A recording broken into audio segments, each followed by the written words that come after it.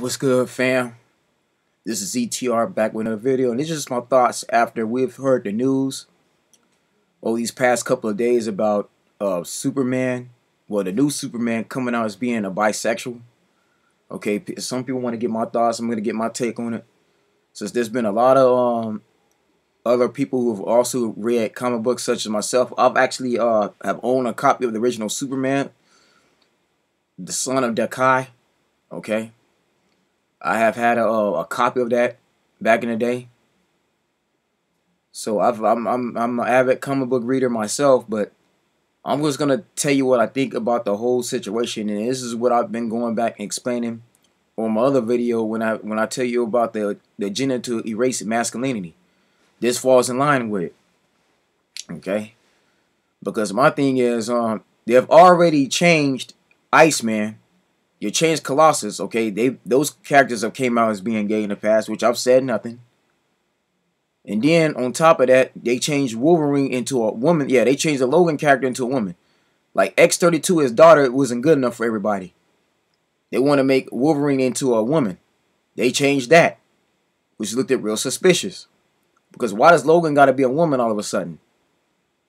You know what I'm saying? For years, we've had Logan as a man. He, wanted, he wants to be a woman now? Like, come on now.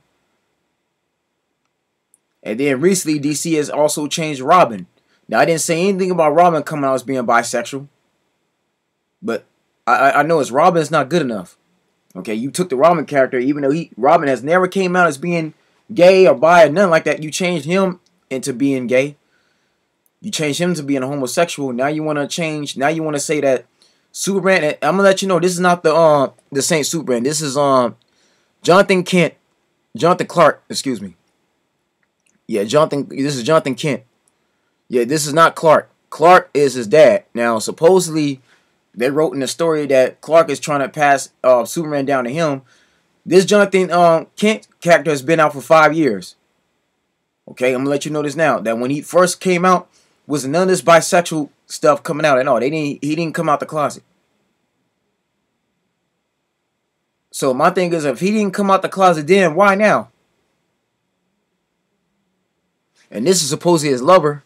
This is Nakamura. Okay, that's that's the name. It's Nakamura. This is supposed to be a YouTuber who tells you the truth. You know what I'm saying? This is somebody who follows uh who follows John and is supposed to be a YouTuber reporting on things that he calls the truth. Okay? So and this this this this is um this is the, the man he falls in love with. But my thing is, okay, if I'm a part of LGBTQ if I'm a, a man who's gay myself, which I'm not, but if I was a gay man or if I was supporting the LGBTQ, then I would create a character that's completely new. I would not use the Superman name. Because as far as I'm concerned, there's only one Superman, that's Clark Kent. I understand that they want John to continue his dad's legacy, but I would have wrote in the um, comic book that John doesn't want to be doesn't want to be Superman. He doesn't want to be given the Superman name. He wants to create his own superhero name. He wants to create his own nickname. Okay, you can still save the world, right? And but be different. Okay, so this this is the problem I have. Not only did like I said, you or you went after Ramen, you changed Iceman Colossus, you changed all these other characters. Why you gotta make the main character gay? The main superhero gay.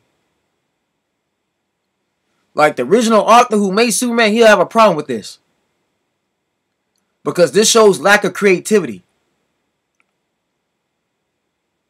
This shows somebody that can't, that don't want to take time and create a new character for themselves. Because I feel the LGBTQ needs a, their own unique character with their own name, okay, and their own costume. Why do you got to wear the same costume your daddy wore? That's that's what I'm saying. That's what I don't agree with. Okay, if I'm gonna create a, a, a gay character that's gay or bi, I'm gonna create them being their own personality. They're gonna have their own nickname. I'm not gonna have them use the same name as their father or their or their parent. Because let the statistics show, like nine times out of ten, most children that grow up and they get older, they don't want to be nothing like their fathers at all. They're nothing like them. Even and let the record show, even in the sports world, which I've been a part of. Most of the Hall of Famers you see, like Barry Sanders, Jerry Rice, Michael Jordan. Okay. You know those particular um, those particular um men, their sons are nothing like him at all. Even Shaq. Shaq got children too, but their sons are nothing like him. They're not as good as their dads. Now, every child out there not going to be fortunate like the Mannings, like Peyton Eli, where you're actually better than your dad. That's not going to always happen.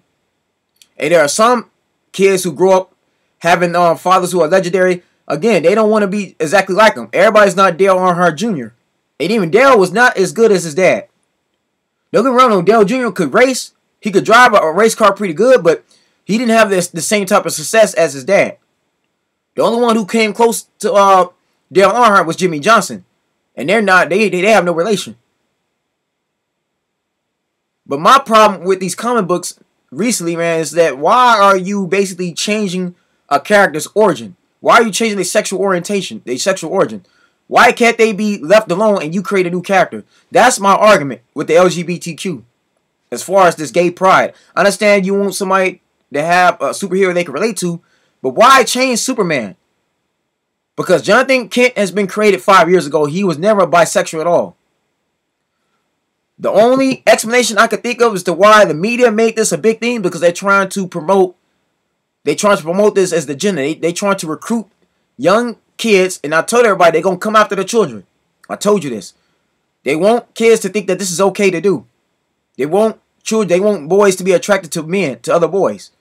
That's that's that's that's the only thing I could I could come up with because these comic books, there's some people who are uh, inspired by these comic books. You'd be surprised.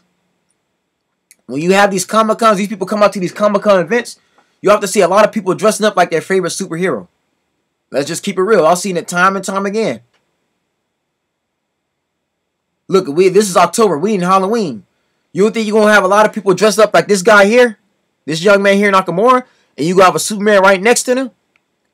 I guarantee you, most of the LGBTQ, the men that are in that, that are that are actually gay, they're gonna be doing this. And we talking about young men that's gonna be doing that. Okay? So you gotta understand, stuff like this is very influential. And I told y'all what the agenda is already. And let me want let me I'm gonna continue to say this now. I have nothing against the LGBTQ at all. I don't hate them, but just, I don't gotta agree with everything they do. I don't. Whoever wrote this as a comic book, you're lazy. This again to the writer, to the author, you're lazy. Let me let me let's look at an example, right, of a father and son, of a son who is basically a guardian of the earth, right, just like his daddy, but don't have to dress and look exactly the same as his daddy, right, and he don't want to be exactly like his father as far as personality. Look at the Saiyans, for example. Let's look at Dragon Ball Z. Okay. Now you see Gohan, you see Vegeta, you see Trunks, you see Vegeta and Goku, you see Trunks and uh, Gohan, right? These two are father and son. These two are the sons of these two. Okay? But let the record show throughout the entire series of Dragon Ball Z. Alright? The sons were not exactly the same as the fathers. They did not all have the same personality. Yes, they both all trying to protect the earth, but they all dressed differently. They were not always looking exactly the same. Like, for example, right? Trunks, when he first appeared, he was wearing jeans. Okay? black tank top and jeans with that sword. Okay, he's wearing either black pants or he's wearing some blue jeans. He not always look like Vegeta at all. Even in uh in in the later Dragon Ball Z when you had Buu during the Buu saga, and then we had uh, the second Broly movie, in the third in the third Broly movie, right? Trunks was wearing a green gi. Vegeta was not dressing like Trunks at all. Okay. Now, yes, Goten looks uh, exactly identical to Gohan, to Goku, but uh, Goten is wearing blue sleeve. He's wearing sleeves. He's not exactly wearing the same outfit as his dad. Look at Gohan. Gohan looked more like Piccolo, and to me, man, Piccolo is unofficially uh he's like Gohan's godfather, basically. Piccolo watched out for Gohan ever since his dad, ever since Goku passed away. He was on out Outworld or Otherworld. Okay, after the Saiyan saga, Piccolo looked after Gohan like an actual father. That was like his godfather. If anything, Gohan wanted to be more like Piccolo. Gohan did not want to look exactly like his dad at all. And at one time, Gohan was actually stronger than his dad until after the Buu saga. Okay? And if you look at Gohan, Gohan, as when Gohan got older, Gohan developed a different personality. He started dressing a lot differently. He started dressing like any normal uh, teenager around his age. Okay, it, we seen this when you went to high school. The man even had an alter ego named Great Saiyan Man. Again, looking like a superhero with Ginyu Force type poses. Okay, he had he had his own alter ego. And then when the Buu Saga came around and we saw Dragon Ball Z Super in GT, Gohan is like a regular person. He's a professor. He's a teacher. The man took his education seriously. Of course, that's all thanks to his mother, um, Chi Chi. But Gohan just wanted to live a regular life with his wife Videl and raise their daughter Pan. He he was nothing like Goku at all. In Dragon Ball Super, he had the glasses. He looked like a, a, college professor. Okay? He not dressed the same as Goku at all. Goku pretty much remained the same throughout the entire series of Dragon Ball. From, from when he was a kid to Dragon Ball Z to uh, Dragon Ball GT, Super, and even the on Dragon Ball Heroes, he looks different. Same thing with Vegeta. Vegeta is nothing like Trunks at all. Yeah, this Cell game, the Cell Saga, right? This is the only time where Trunks looks just like uh Vegeta. But again, they're two different personalities. They don't all have the same hairstyle neither. Right? No, his Trunks' hair is different from his. They all have their their hair is all distinctly different. Okay. Look at it. Look at look, this is Gohan now. That's Trunks now, right? Again, they don't all look the same. Okay. Distinctly, the only time Gohan had this on was during the time he fought Bojack. And people are saying that's canon. I disagree, but that's neither here or there. So my thing is, a father and son don't always have to look exactly the same. And notice too, and this is what I noticed this too about Toriyama. Ain't none of these characters gay at all. None of them.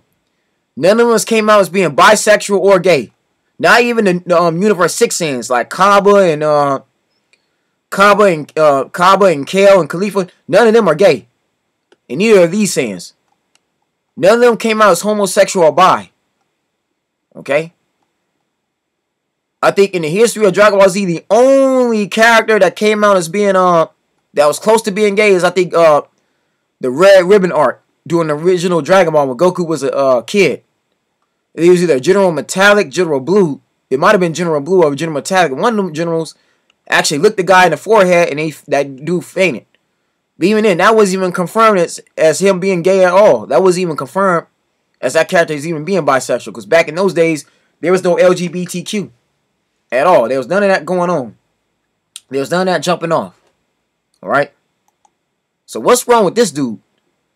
Again, Jonathan Clark can save the universe and be like his uh, dad, but you don't have to have the same costume either, or you don't have to go as the same name.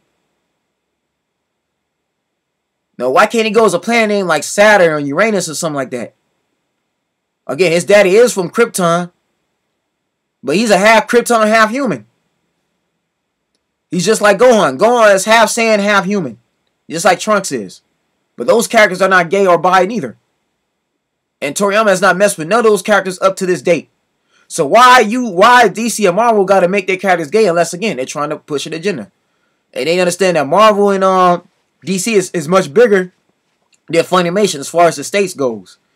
Yeah, Funimation, that's mostly uh that's mostly big in Asia and Japan, right? In China, them places. Yeah, it's big and it's popular in America, but not as big as overseas. So my only argument is that you don't gotta make this guy gay. If you want you a gay character, there has to be somebody different. Again, if you want to come out as a character being gay and being a superhero, create your own character. Give create a brand new character that the LGBTQ can relate to that's different. That's not Batman or Superman. Don't use those names. Okay, we all know that Superman and Batman were all masculine, heterosexual men. They were in love with their wives. They loved with their women. Okay? Same thing with Spider-Man. I don't see no Spider-Man being gay.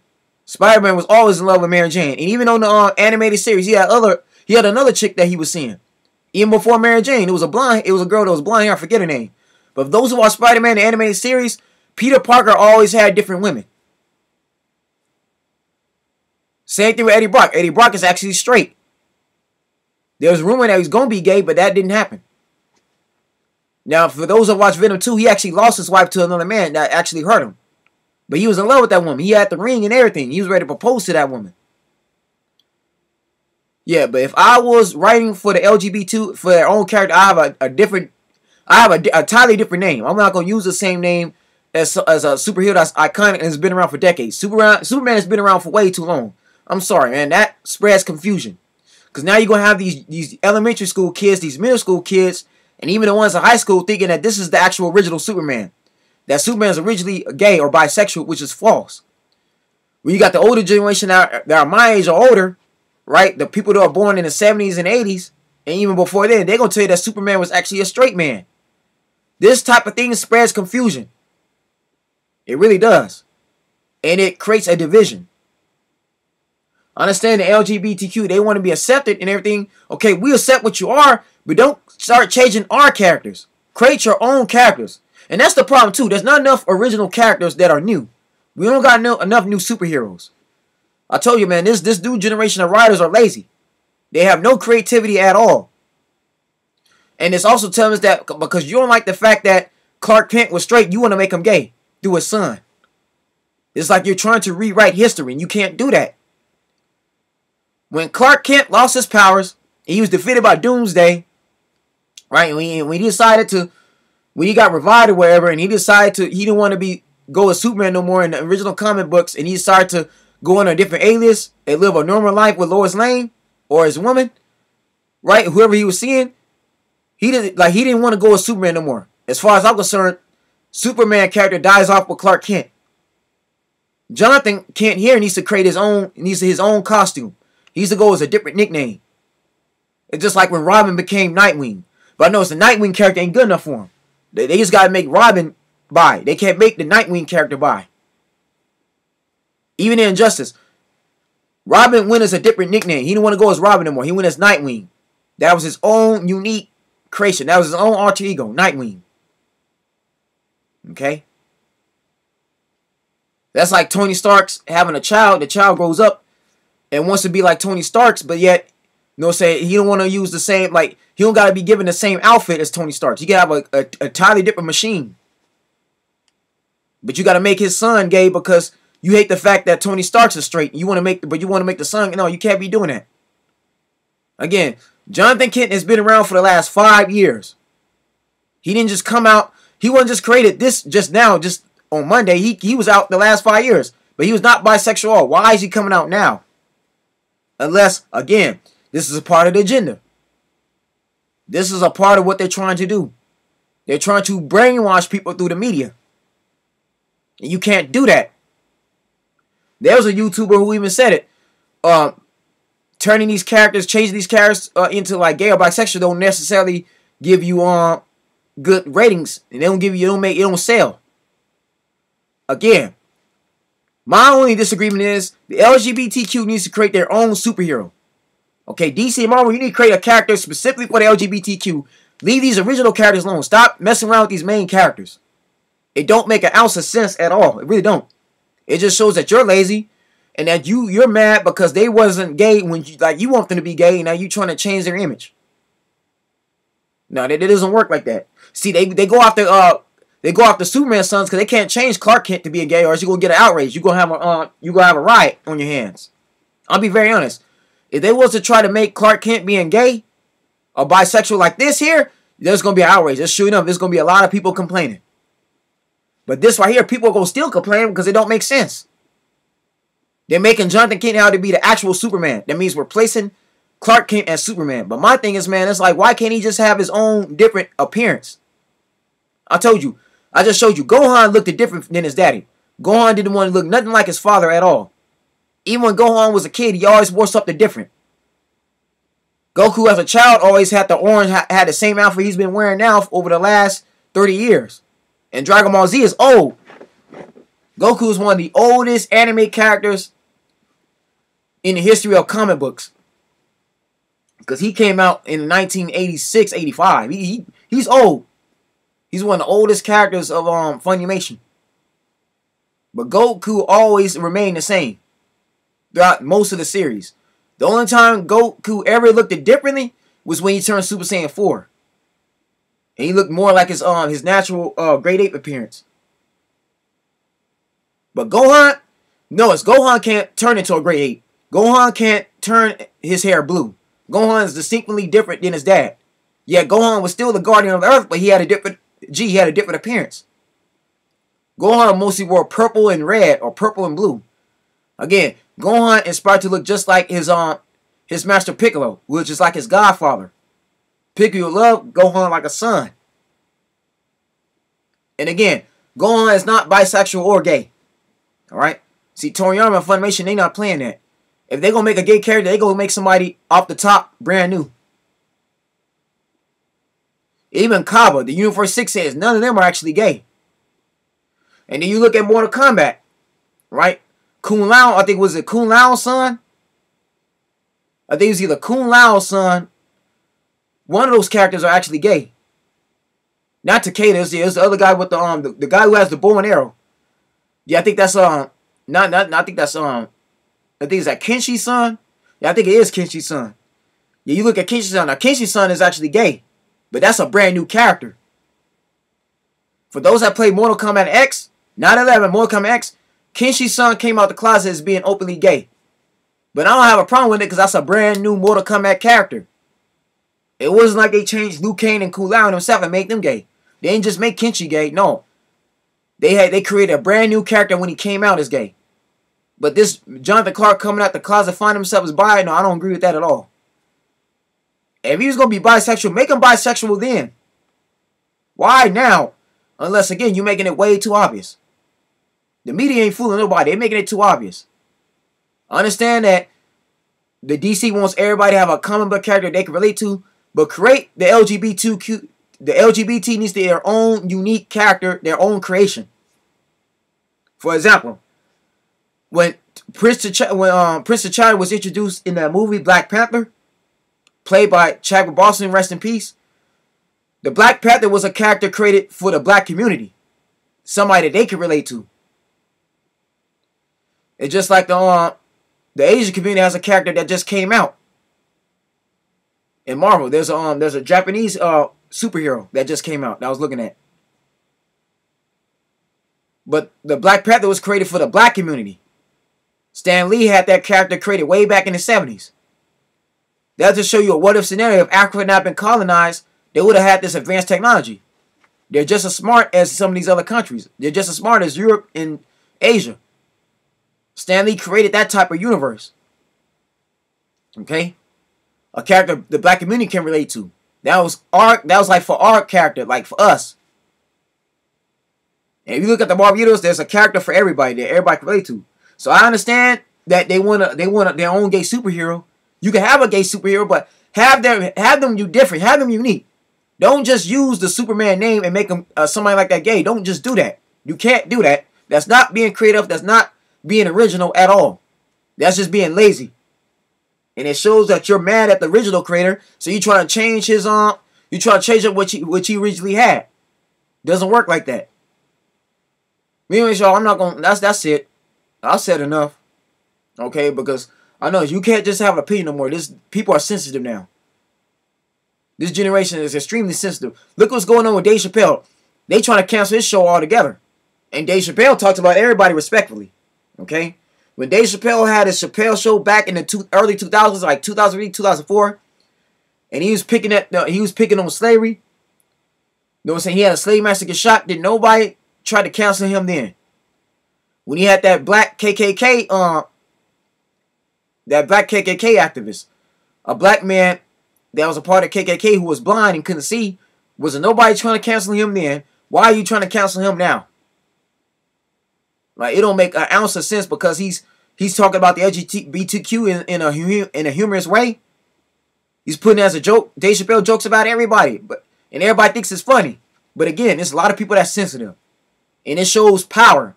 This is this is pretty much being narciss. This is a narcissistic control. There are people that's part of LGBTQ who are narcissists. That's all this is showing me. This is narcissist at its finest. Yet us heterosexual people, we can't we can't have an opinion on it. You changing a character that we've been knowing all this time to be straight. And you trying to rechange history, but we, we can't say nothing about it, right? It's alright bad enough they have a um a gay Bible, the Queen James version. because they disagree with what God said in His original Bible, in, in the original Word. They've been doing a lot of heinous stuff. They've been doing a lot of crazy things that I've said nothing about. But this year, I can't allow it. Again, Robin, you already got Robin. You changed Robin into being a bisexual. Okay, let Robin be be the gay one. Let Robin be bi. Why does John Kent got to be bi too? Like, come on now. That's way too obvious. You got one character. Okay, if Robin is gay and they've already and Marvel's already changed Colossus and Iceman to be gay, create a brand new character. There's nothing wrong with that at all. Unless again, this is all because you're trying to rechange something. This is all part of the agenda. This is deeper than this goes deeper than that. Man, folks, man, tell me what y'all think. I'd love to hear your own opinions about this because again, and let me say this right now. For those that call me homophobic, again, you got a problem.